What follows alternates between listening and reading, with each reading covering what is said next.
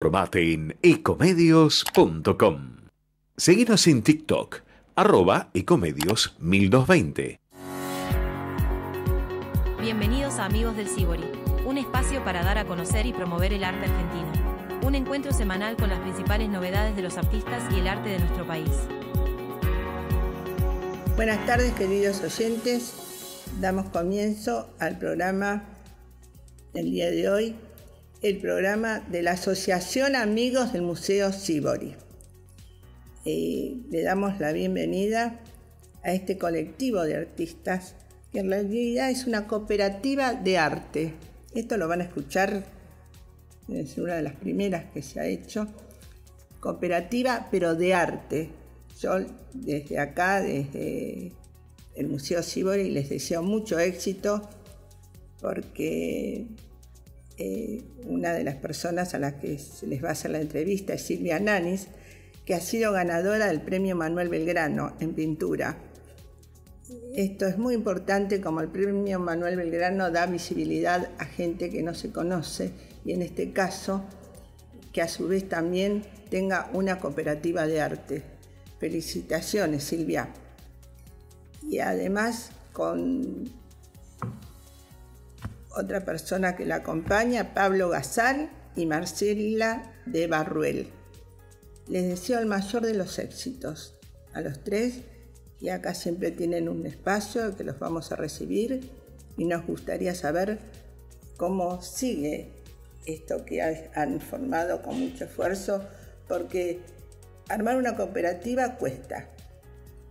Es un esfuerzo muy grande y sobre todo una cooperativa de arte en los momentos que estamos viviendo, pero que a uno le da otro aire, lo ayuda a vivir y yo qué les puedo decir, que los felicito, les deseo el mayor de todos los éxitos.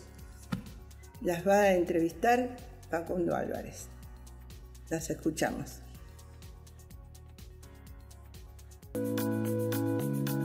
Nuestros artistas, un espacio para difundir el trabajo y las producciones de artistas argentinos.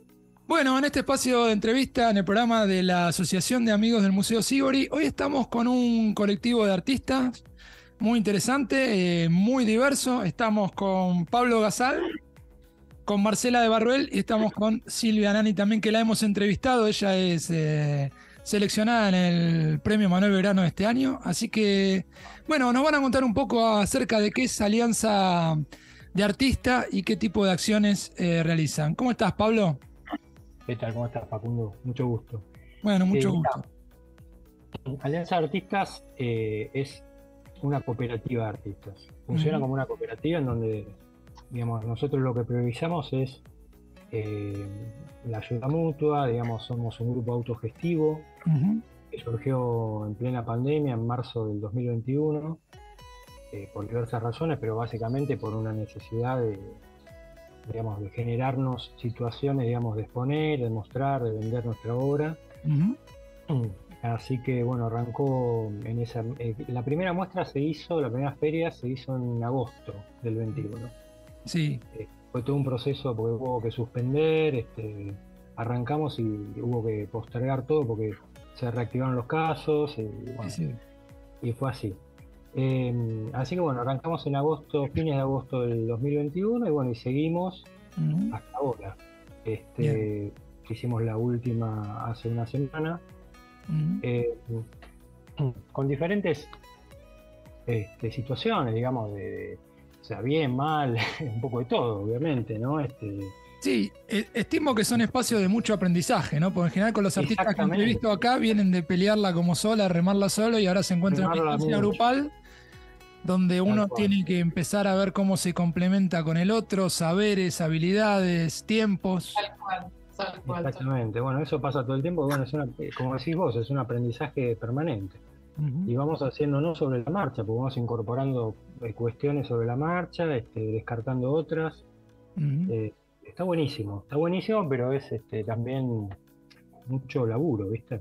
Sí, sí, Sí, pero. Eh, que nosotros, sí. No digo que es mucho laburo, pero por otro lado, por ahí si fueran uno solo, sería el 10 veces el laburo que por ahí hacen una comunidad de gente que se junta. La idea es ayudarnos mutuamente, como te decía, y, digamos, este, incluso con, el tema de nuestros clientes, también potenciarnos. Claro. Ventas. Este, nosotros nos manejamos, somos un grupo, digamos, estable y somos un, digamos, nosotros también invitamos gente. Seleccionamos artistas porque hay una selección de artistas, o sea, los artistas que participan son, son muchos de trayectoria y, de buena calidad de obra. ¿no? Nosotros nos preocupamos por eso porque, digamos, como no cobramos, sí, sí. Eh, entonces nos garantizamos también tener eh, o mantener un buen nivel de obra para. Porque es nuestro único, nuestro único capital, digamos. Sí, sí. Eh, digamos, nuestra obra. Así que, que bueno, este, y después hacemos los, los eventos en nuestros talleres. Esa es la otra característica que tenemos. O sea, vamos este, turnándonos, sí. preguntando a ver quién tiene algún taller disponible. No todo el mundo tiene, obviamente. Este, así que nos movemos de esa manera, básicamente. Sí, hay, hay un costado muy interesante, digamos, eh, generalmente yo soy músico y generalmente el mercado del arte amplio, música, pintura, teatro, tiene como cierta informalidad. Entonces, cuando uno llega a estas instancias grupales, también a veces por desconocimiento no sabe que eso habilita un montón de otras cuestiones. Por ejemplo, vos me dijiste al principio, nosotros somos una cooperativa. Si ustedes legalmente se, constituyeran una, cooperativa, no sé si lo son o no, podrían acceder a financiamiento de otro tipo al que accede un artista individual y otro tipo de ayudas. No sé, eh, para ese tipo de cosas, por ahí el artista llega como muy desprovisto de saberes, ¿no? Esta cuestión de todo muy enfocado en el arte y lo económico, lo organizativo nos es más complejo.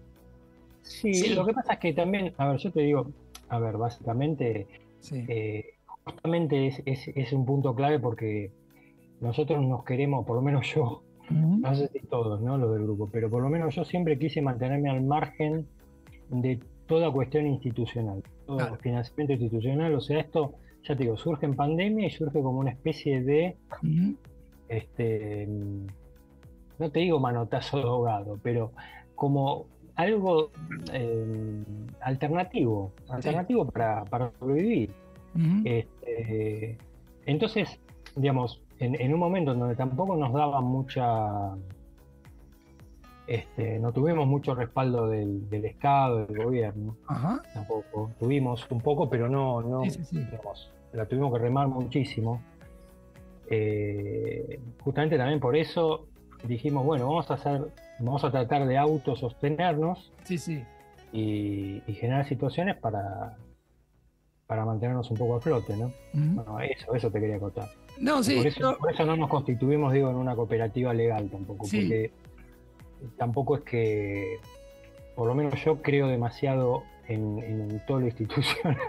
No, quizás porque para ahí la institucional lo llevaste al Estado y yo, yo comprendo y yo tengo la, misma visión del Estado. Me parece que es al último lugar a donde hay que ir a pedir por muchas cuestiones. Entonces digo, pero eso también, esa institucionalización de la cooperativa también te habilita a ir al sector privado con otra, con otro peso legal.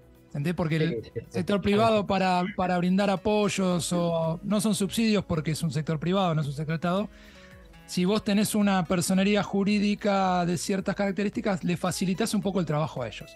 Es un comentario simplemente por ahí de otras. Lo hablamos, ¿eh? en un momento lo hablamos con las chicas, este, eh, porque surgió una posibilidad concreta, nos propusieron algo concreto, entonces tuvimos que, tuvimos que definir el tema de si íbamos a constituirnos legalmente o no. Ah, ok. Este, decidimos que no en ese momento, pero no descartamos en algún otro momento poder hacerlo. Sí, sí, sí, llegado el caso. Lo, planteé porque es un tema que surge mucho en las charlas que tenemos con artistas, digamos, como que... pero funcionamos, funcionamos a modo de cooperativa. Sí, eso está claro. de ese modo, más o menos. Los músicos lo tenemos más incorporado porque el 90% de los trabajos que hacemos es grupal. Y, y, entonces ya la cooperativa informal, como decís, informal bien entendida. Entonces, bueno, si entra 100, se dividen los puntos y el que trabaja aparte de tocar esa otra cosa cobra un punto más y ese tipo de cosas. Ya lo tenemos más incorporado. Entonces, y Marcela, contanos un poco tu experiencia dentro de, esta cooperativa. Bueno, mi experiencia es altamente satisfactoria. Yo estoy muy contenta que me hayan integrado.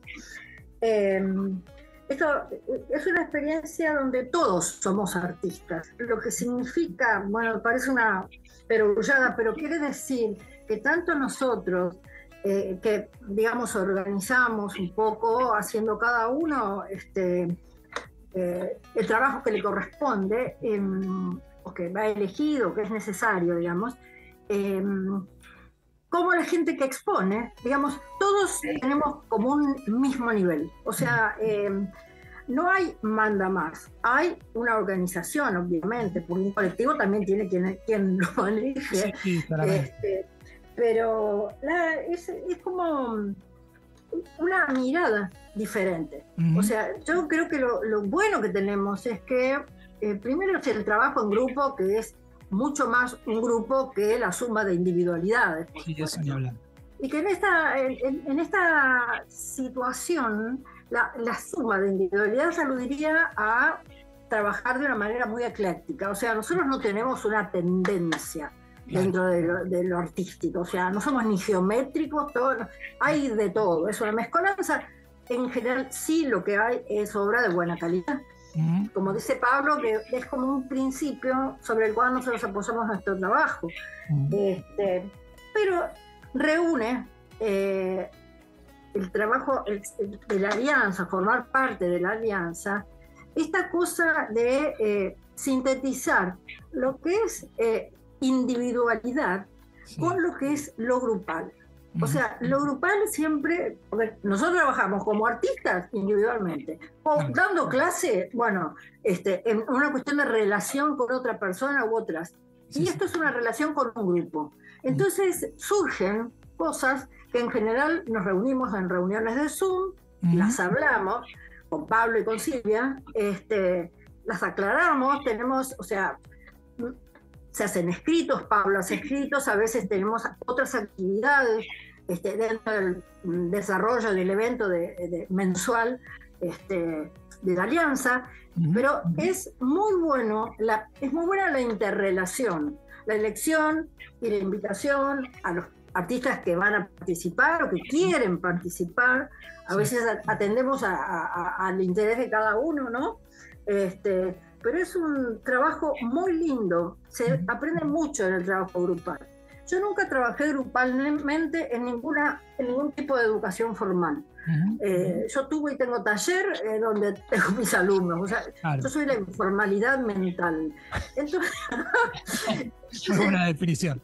claro, digamos, a mí me encanta que este grupo de Alianza de Artistas no sea un grupo, digamos, formalmente, pues sería una, una especie de cosa como desde afuera, ¿no? Claro puede ser una cooperativa eh, organizada legalmente, pero no funciona realmente como cooperativa. Nosotros no lo sabemos. Sí, qué sé yo. Lo que pasa que lo que yo le planteaba a Pablo tiene la cuestión de hacia adentro uno puede funcionar de una forma, pero hacia afuera, digamos, cuando vos decís cooperativa, por ahí están pidiendo ciertas, ciertos papeles. Ya sabemos cómo es la burocracia. Todos presentan carpetas para concursos, etc. Tal cual. Tal cual. Sí, contame. No, digo, en ese sentido iba mi comentario con la conversación con Pablo, pero seguí, no te interrumpo, dale. No, no, no, pero eh, la, situación nuestra en, relación al grupo cambia, este, porque una cosa es eh, decidir uno mismo y otra cosa es consensuar. Eh, la cosa grupal a mí me encanta porque nosotros hablamos todo. O sea, nada está dicho, ni, nada está pensado y, digamos, puesto al aire como hacia los demás, como con cara de traste, bueno, qué sé yo, ¿no? No, no, en general hablamos las cosas y nos ponemos de acuerdo con las cosas. Aunque en principio estemos en total desacuerdo, no importa. El tema es conversar y acordar. Imagino, Silvia, que debe ser un, como dice Marcela, un espacio muy diverso eh, tanto en las miradas del artístico como para ahí las actividades, y lo cual implica, como bien dice Marcela, la obligación de consensuar para poder llevar los proyectos adelante. Claro, claro. Además, el desacuerdo forma parte del acuerdo después, en algún momento. Si no, no, no, podría existir el desacuerdo. Para la, síntesis tiene que existir la antítesis, ¿no? Y esa pelea puja previa, si no, no hay síntesis superadora. Por supuesto, por supuesto. Y, y, y yo querría decir una cosita muy chiquitita que para mí eh, al principio me dio como, cuando me invitó Pablo en el 2021, yo no, no podía porque tenía unos conflictos familiares, ¿no? él me decía, mira que hay que juntarse, laburar, hay que organizar cosas. Y dije, no, no voy a poder, no voy a poder. Y le dije que no. Pero después cuando pude, Sí. me gustó, me gustó eso de, de tener que trabajar para uno y para un grupo también, ¿no? Porque otros, claro.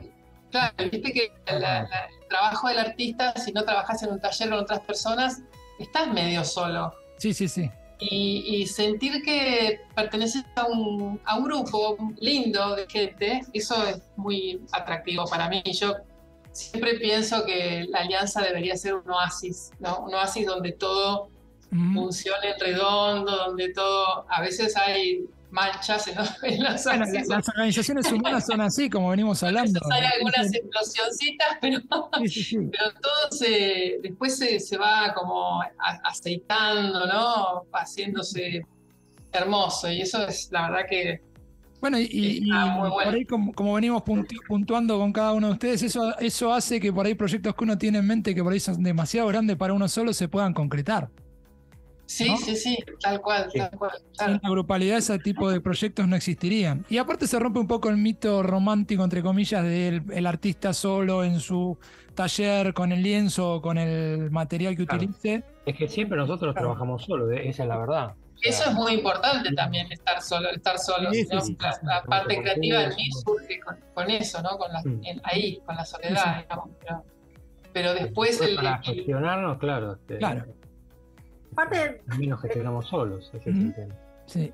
nosotros nos- Marce, dale. nos- que trabajamos en una diversidad de actividades.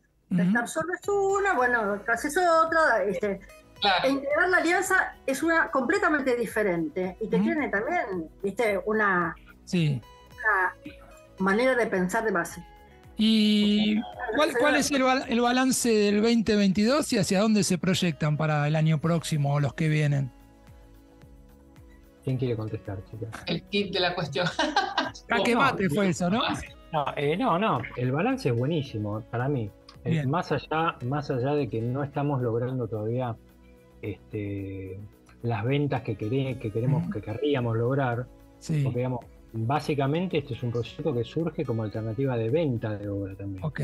Una de las patas importantes es la venta de obra. Entonces, nosotros tenem- estamos apuntando en este momento a ver de qué manera podemos hacer para generar más este, ventas. Entonces, eh, todavía no, nos- no se nos estaría dando el tema ese, pero ya vamos a lograrlo.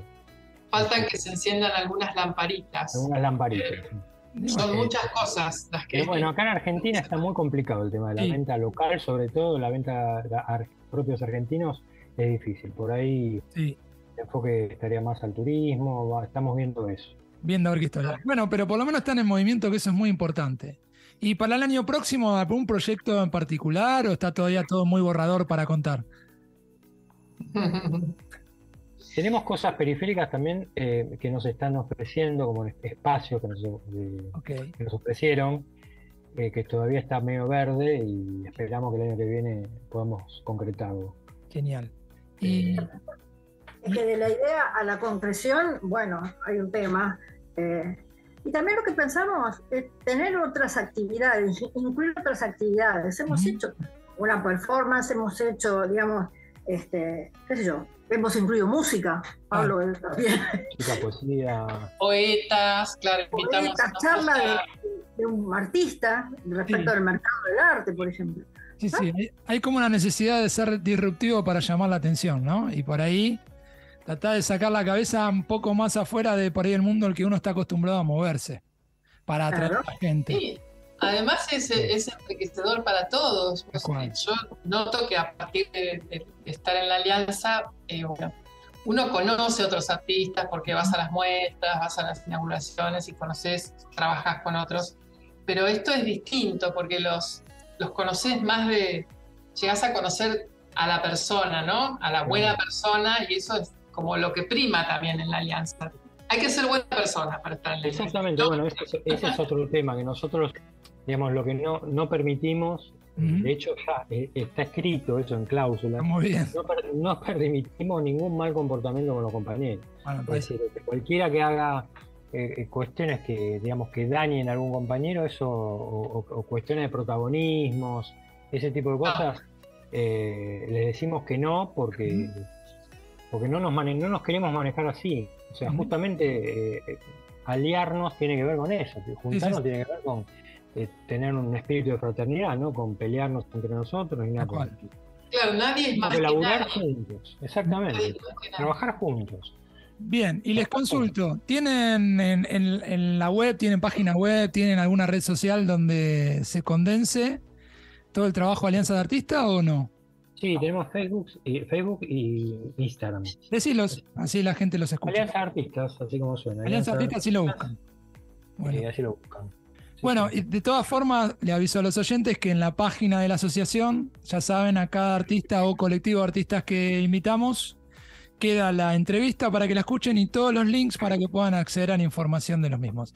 Así que bueno, Pablo, Marcela y Silvia, hermosa charla, súper eh, ilustrativa del trabajo que hacen. Felicitarlos por, por el trabajo que están haciendo, desearles lo mejor en estas fiestas y que empiecen el año que viene con toda la fuerza del mundo para llevar Alianza de Artistas lo más lejos que se pueda. Muchas gracias. Muchas gracias. Muchas gracias. Muy amable. Eh, muy amable por la entrevista.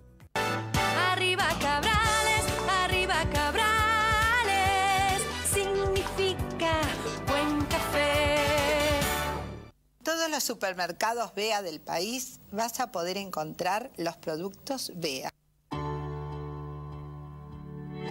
En Coto trabajamos cada día para brindarte variedad, calidad y las mejores ofertas. Coto es una gran familia argentina que crece pensando en su país. Coto, yo te conozco. Tiempos en donde las redes están repletas de gente a la que le sale bien todo, que canta, que baila, que cocina, nosotros también queremos bancar a los que no. A los que se mandan a hacer algo y les sale horrible. Porque aunque pueda fallar, lo importante es seguir intentándolo. Y nosotros estamos ahí para darte todo lo necesario para que lo sigas haciendo. O una alternativa que te salve. Porque si falla, tenés un disco cerca. Disco. ¿Qué necesitas?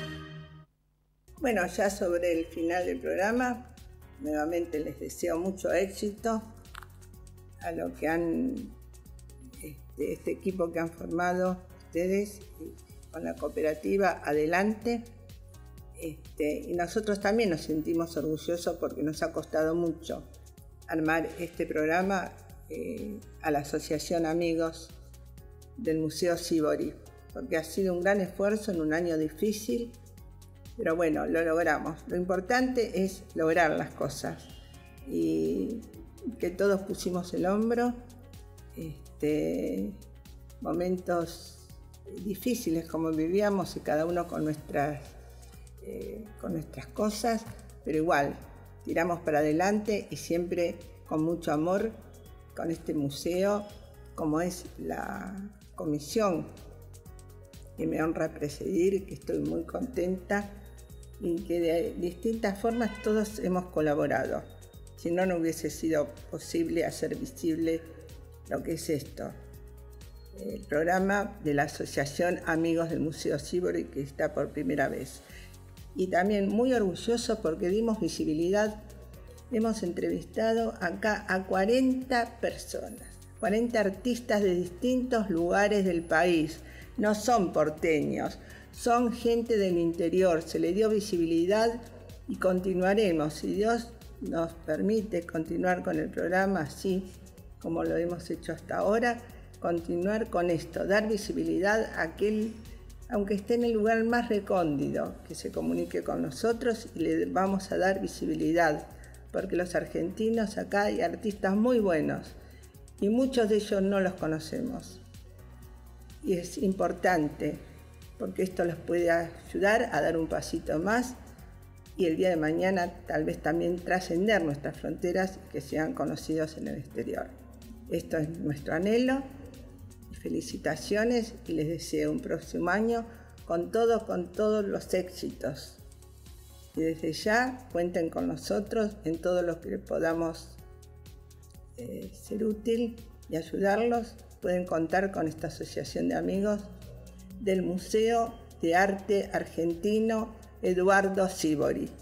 Y como digo siempre, el único de arte argentino que hay en el territorio es este, el Museo Eduardo Sibori.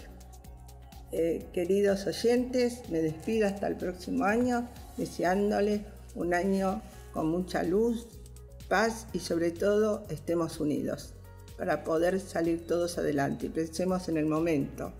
Dejémonos de pensar en el pasado, pensemos en el hoy y ahora. Hasta la próxima semana, que Dios nos bendiga.